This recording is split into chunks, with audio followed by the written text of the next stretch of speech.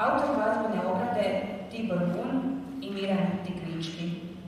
Voditelj ansambla Senka Jurina, selektor, umjetnički voditelj i koreograf prema kriterijima Hrvatskog društva folklornih koreografa i voditelja.